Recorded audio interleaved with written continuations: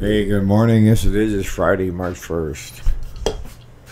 So I thought today we'd take some time and, and talk about what is self confidence, you know, and how do you get it? Are you born with it?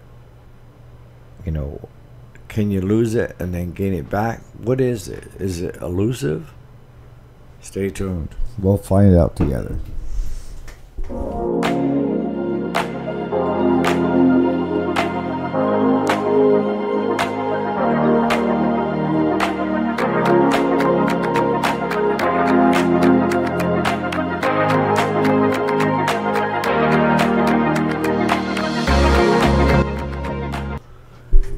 So welcome back. My name is Eric, and this is Friday with Weekday Show.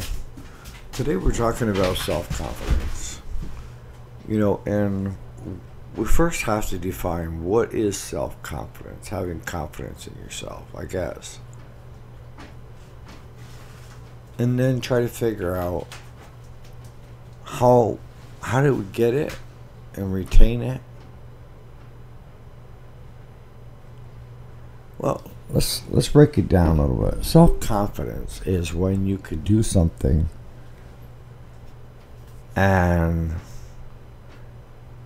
not sit there and fret about it. And don't there's a big difference between self confidence and being assertive and being aggressive. Two different things.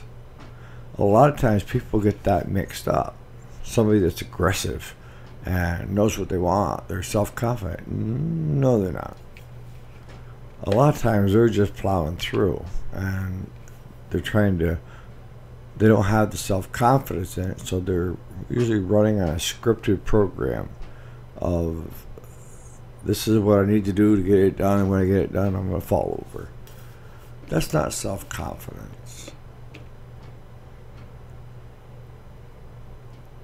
Growing up, I didn't have a lot of self confidence.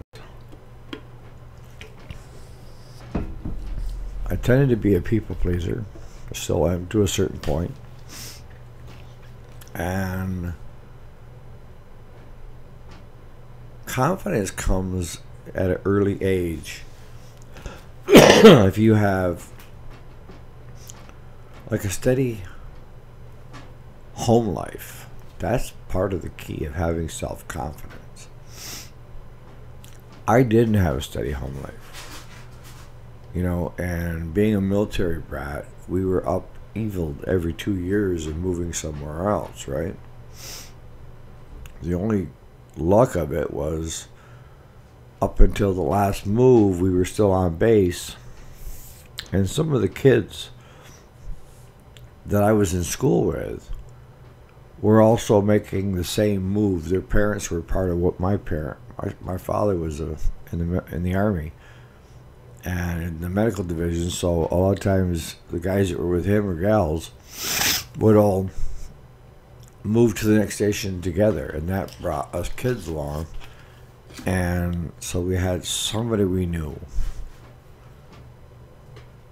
But the, the last move that he made, he was a lieutenant colonel, and he lived off base instead of on. So we didn't hang out with the same kids, and we didn't get to go to the same school that's on base. It was close to base. We went to one that was closest to the housing that we lived in uh, in Lawton.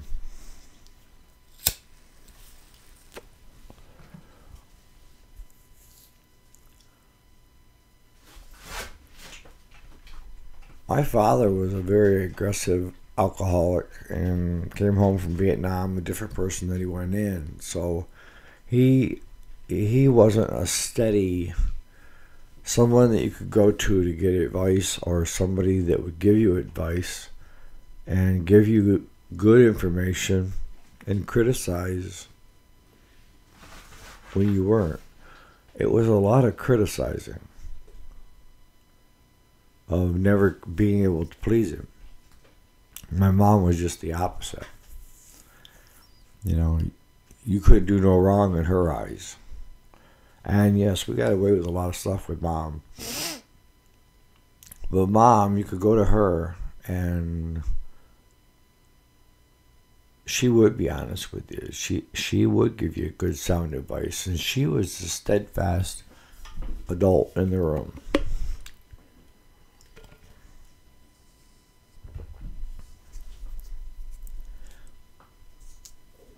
But as time passed, I think I was, see, 13, 12, 11, 10, nine and a half or 10. My mom developed breast cancer. And they thought at first it was tuberculosis because both her and I tested positive for tuberculosis. And I was treated for a year for, for TB because my mom worked at one of the larger reservation hospitals in Lawton, close to Lawton, and they figured that's where she got it. So they started treating her for TB, you know. And then they checked all of us kids, and I was the only one that checked positive. I reacted to the, the TB test. So at that point, there went my steadfast adult in the room with her battling cancer. And back then, you know, they don't they didn't have what we have now and the success rate. You know, a lot of times if you develop breast cancer, it was death sentence, and it was for her.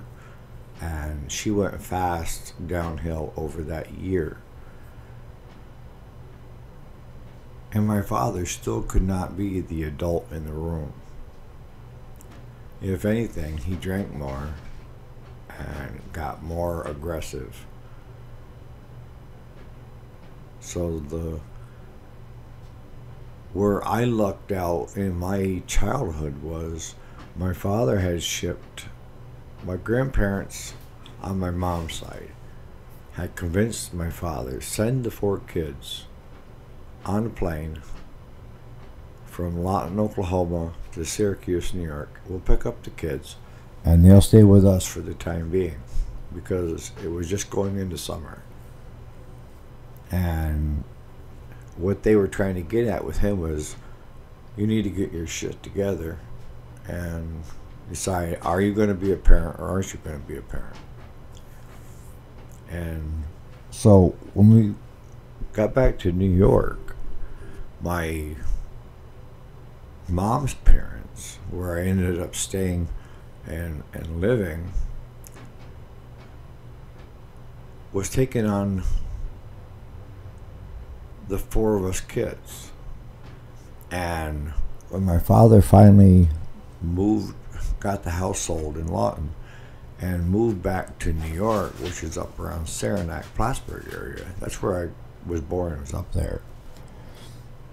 He wanted all of us kids back. My grandparents sat us down and said, "It's up to you guys. You know, you're more than welcome to stay here if you don't want to go with your father, but you know, you need to make that choice. And my brother and I made the choice of staying put. And it was the best move I ever made, you know, for me, anyways. Because I finally got a steadfast adults in the room. My grandfather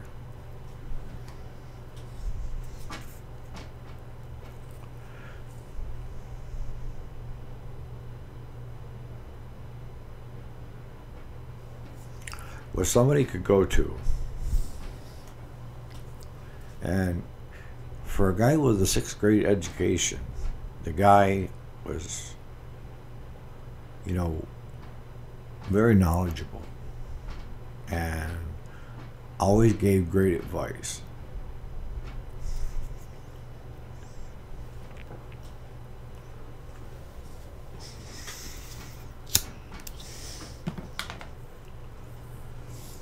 And he would criticize when you needed to be criticized. But it was constructive criticism. It wasn't beating you down. It was, okay, this is what you did wrong. Do you see what you did wrong?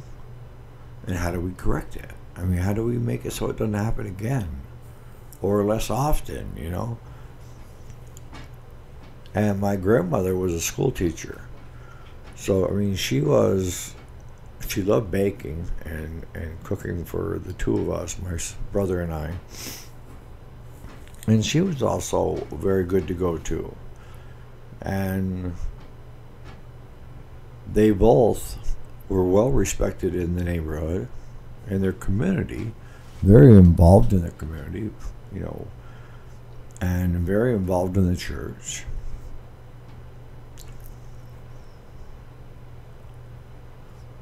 But I can remember even up to hunting camp, my grandfather, they called him uh, the judge because he was always fair. He look at both sides and then he make his determination.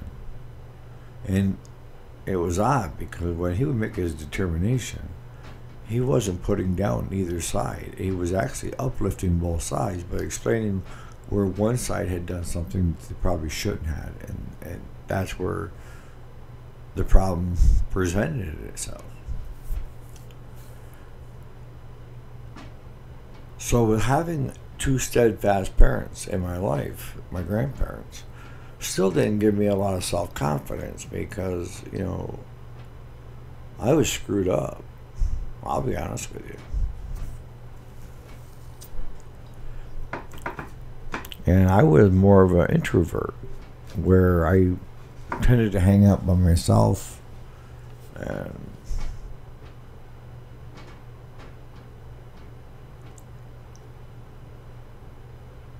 wicked people pleaser. Somebody wanted something done.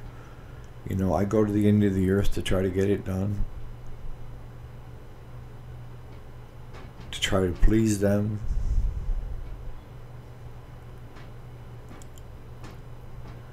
And being a people pleaser doesn't bring you confidence, doesn't bring you self confidence.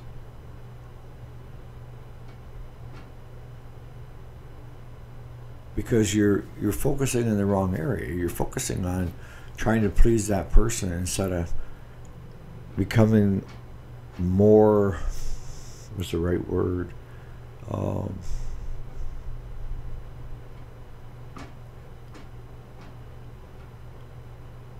but to do it more often and have less anxiety of doing it. Public speaking.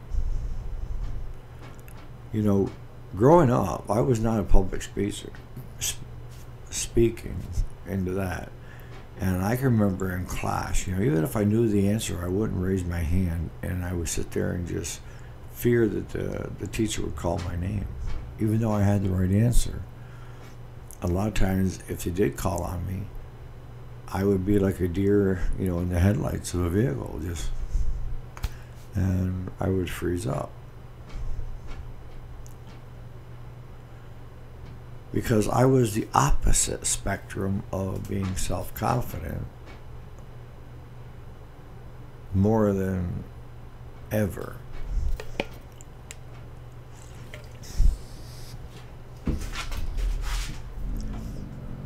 Even when I met my wife, now, a lot of people would have said Eric is full of self confidence. You know, he knows what he wants, he goes after it, and and is like phenomenal. No, Eric isn't self confident. Eric decided I was in that transition of where I had gotten out of school and newly married and had a son. Growing into that point. But I went from trying to please people because people kept letting me down, but they didn't. I was letting myself down. See, a lot of times it's more about you than it is somebody else. And that's how we change. But I went from trying to be a people pleaser to a person that if somebody posed a challenge, I would take the challenge on and I would, especially if someone said, you, you can't do that, watch, watch me. And that was my motivator. It wasn't because I was self confident and I knew what I wanted out of life. It was, I'm going to prove you wrong, no matter what. See, when I first met my wife, my first wife, her parents had a dairy farm. And that was really the first hands on that I ever had when it came to being on a farm. You know, I wasn't grown on a farm. I was a military brat. So being around cows and pigs and they had a pair of geese that would chase you down the driveway and bite you in the ass if you. I mean, them little bastards like to shot them. But I hadn't had any experience in that field.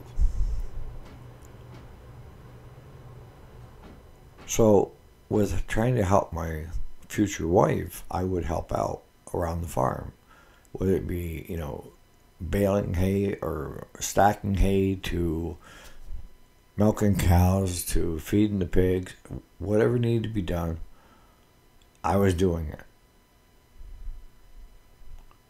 Because by doing it, I was trying to please my future in laws and make it easier on my future wife because she was doing a lot of it.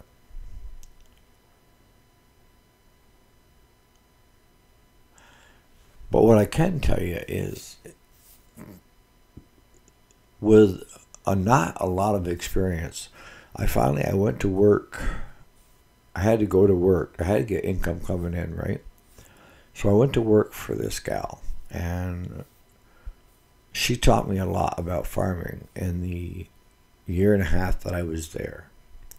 And I got two hundred dollars a month. One hundred and fifty went for rent, so fifty a month had to cover fuel, heating, food, wasn't a lot of money, folks.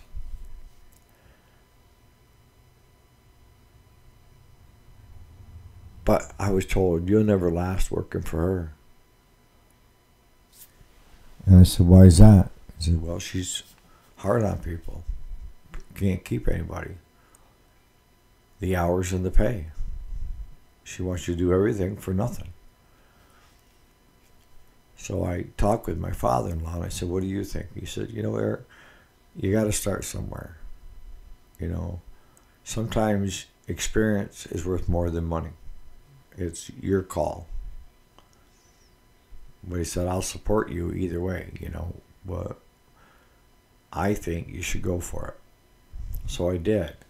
And as I was telling you, when I first met my wife, I weighed 240, 250 pounds, maybe 60 pounds, I can't remember. And I had to, when I went to work for her, Marion, the hours were from 5 in the morning to whenever we got done at night, which was 8, 8.30, sometimes 9 o'clock, you know. And I couldn't afford to put fuel in my vehicle to get back and forth to work. But the walk was like three and a half, four miles. So I would walk to work in the morning. I'd get up an hour earlier and start hoofing it. And then a lot of times her son, Junior, would give me a ride back at night after, after night chores.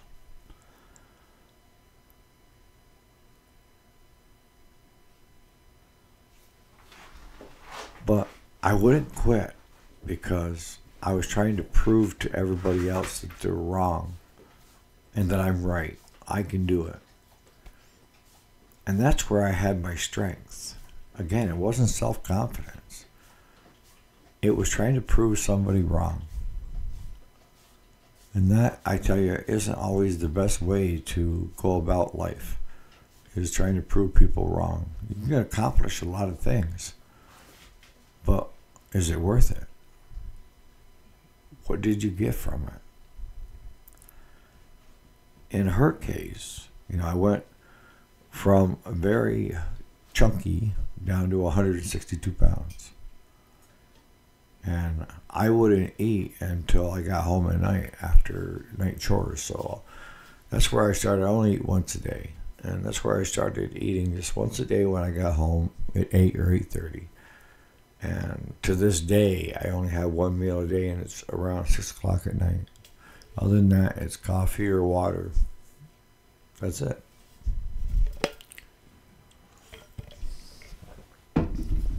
But she taught me. She was steadfast. She was confident, knowledgeable, and would give you constructive criticism if you were willing to listen. That was the key. She could tell if you were really serious and interested in what you guys are talking about. She'd been around the block a few times. And in me, she found somebody that had the willingness to learn and the willingness to learn from my mistakes. And that when she gave me constructive criticism, I took it to heart and and tried to make the changes. Sometimes slowly, quicker times than other times, you know, but but within that year and a half time of being a non-farmer military brat growing up in a small country town with my grandparents never been around a farm in that year and a half, she gave me enough knowledge, enough wisdom, enough kahunas that I stepped out and took on the role of managing farms. Instead of being the low man on the totem pole, I took on with confidence because she has shown me how to gain self confidence, and that's doing things and and getting better at it, getting better at it until you you do you do well and you're confident. But I still had the aggressive side of trying to prove people wrong, but the confidence that I knew what I was doing, if that makes any sense.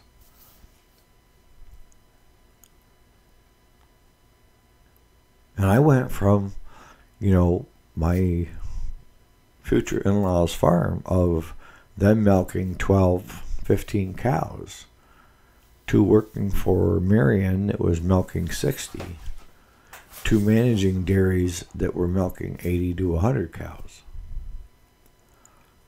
And a lot of times they would hire both my wife and I as a, a group, a couple, you know, give us a place to stay, a house, trailer, and would pay us based on two people being there to for milking and feeding the animals and all that because one person couldn't do it all. So a lot of times she would come up and at least help me get started and then go back home with the kids.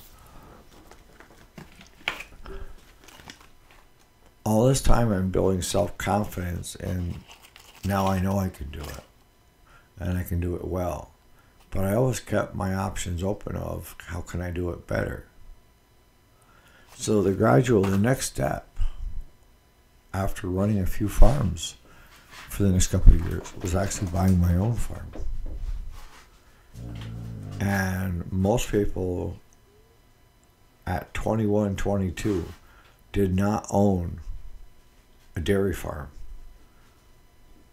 that had almost 300 acres of ground I had 70 head milking in the cow, in the barn. It would only hold 60. So I milked the first 60, kick out, and then bring in another 10. You know, and hang, we would get hanged down. We were putting up 14,000 bales, 12 to 14,000 bales a year, and we knock it out. But as that grew and kept getting like that, I went more from trying to prove to people what I could do because I guess I had already had to trying to become more self confident in what I was doing and trying to find that place of where you're zen, you know, where you feel you fit in. Because I never felt I fit in anywhere. I always felt like I was the odd guy out no matter what. And at that time, I didn't have a lot of friends. But I hardly ever left the farm until I started working the second job and the third job to support the farm.